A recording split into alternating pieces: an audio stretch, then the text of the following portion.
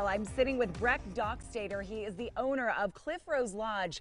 I dare say you and I are in the prettiest spot in the entire state right now. I'd challenge that for When sure. The sun came up. It was a little chilly this morning because it's October, right? Even though um, it's warm, it's gorgeous now. Yes, this is the best time to be in Zion.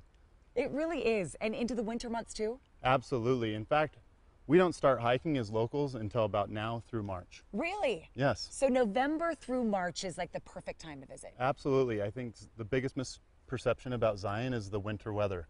We're very similar to winter weather in St. George.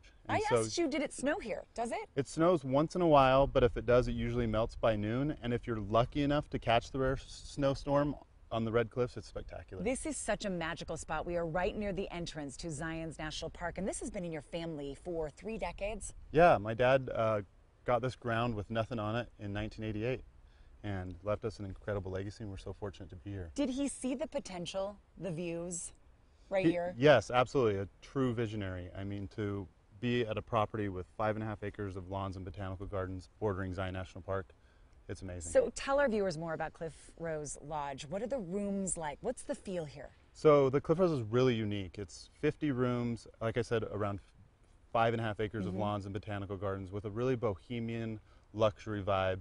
The, the rooms are different than you're going to see anywhere else in the world, with kind of a floral, eclectic feel, but really unique and fun. The design is so cool. We went into the spa, which is like right that direction, and it's going to be done in May of next year. Yeah, we're so excited to have a full service spa that will open in spring of 2020. Uh, what about food? What's coming? We have Anthera, which is a really cool dining experience, and that will open this fall or winter, and very excited about that as well. I'm in a jacket, Breck, and there's people at the pool. So, I mean, and the pool's gorgeous too.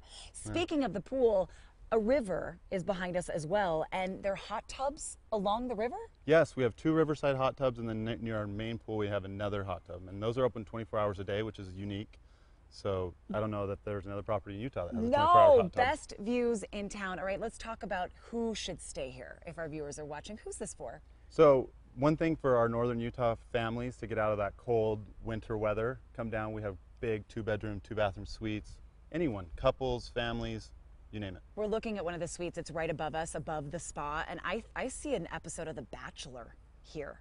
Yeah, we were Don't just talking about. it. I would love it. I'd love to get them out here. It's, Would that be it's cool? The perfect setting for Breck, that. how do we do that? Let's do it. All right, let's find let's, Let's find get 'em. people and get Let's them. get 'em to here. I mean, there, it wouldn't be. A, there's nothing better to look at here in southern Utah than this spot. Um, what kind of events do you have here? So we do a wide range of events. We do events that are just free to our guests, like acoustic nights, or you can have a wedding here. It's a great place to come and have a great destination wedding. Right Reagan and I were saying, backdrop of Zion yeah, National isn't Park. this beautiful right here? Yeah. Um, and by and hop, skip, and a jump to the entrance. Just 200 yards behind us is the main entrance to Zion National Park, so you can park here and walk right over. When we pulled up, we could see people walking that direction. Um, so now's the time if you want to book a room for the holidays. Yeah, absolutely. We'd love to have you come down for the winter and stay with us. Experience. We have the Joy to the World Festival, and that runs for a few weeks in December. So come, cliffroselodge.com, and we'd love to have you. We're in Springdale, everybody, right near the entrance to Zion National Park. It is absolutely stunning. Headed into the weekend, I know the St. George Marathon coming up. So many things happening down here. You're just away from it all in this location. ABC4.com slash midday for all the information about Cliffrose Breck.